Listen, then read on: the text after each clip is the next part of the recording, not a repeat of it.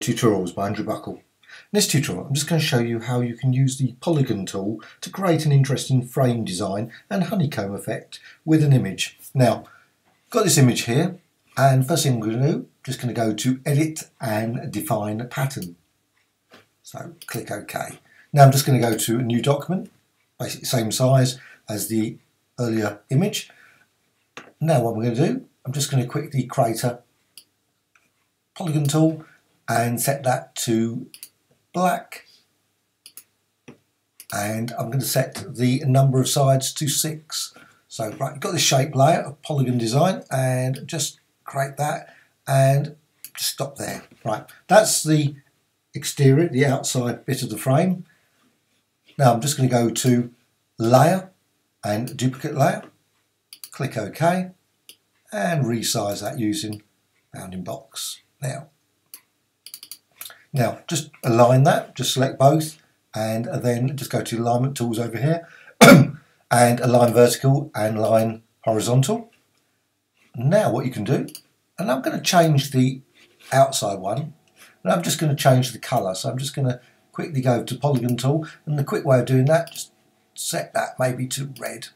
Okay, so I'll go for a red one there, and this interior one, I'm just going to select that, and set the fill Instead of a colour, I'm actually going to be using the pattern that I've just created. So there's the actual design there.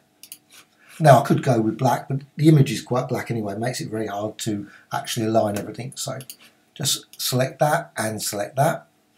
See that both selected there. And I'm going to resize.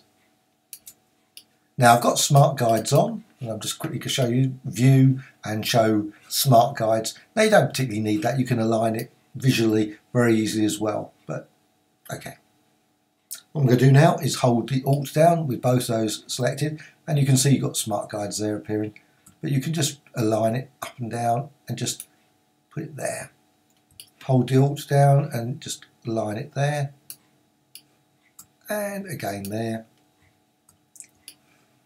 and over there. Now I could of course fill the entire image with this design but I'm just going to stop at a certain point otherwise extends the video a bit too much. So you can just align it. Now you don't have to be perfect, of course, you can just move it slightly, create some thicker than, than others.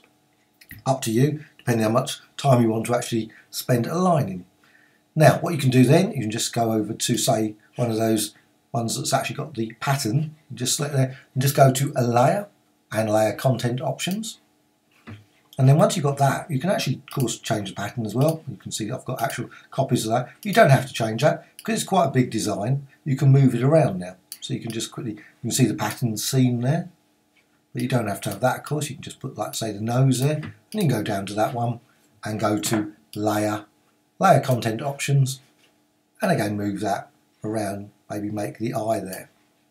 And again, select that one. Again, make certain you've got that one selected and layer and layer content options and move around, maybe select a different part of the image. And you can continue that obviously for each of those images there. So create a sort of like insect eye, honeycomb effect, and of course you can also quickly go back and change these reds. If you don't want red, you can go and make it see black or green. I just use red to actually make it easier to see the actual honeycomb effect. And there you have it. Once you've done that, you can then just go to a layer and flatten image and that's it. Hope you found this of interest. Thank you much.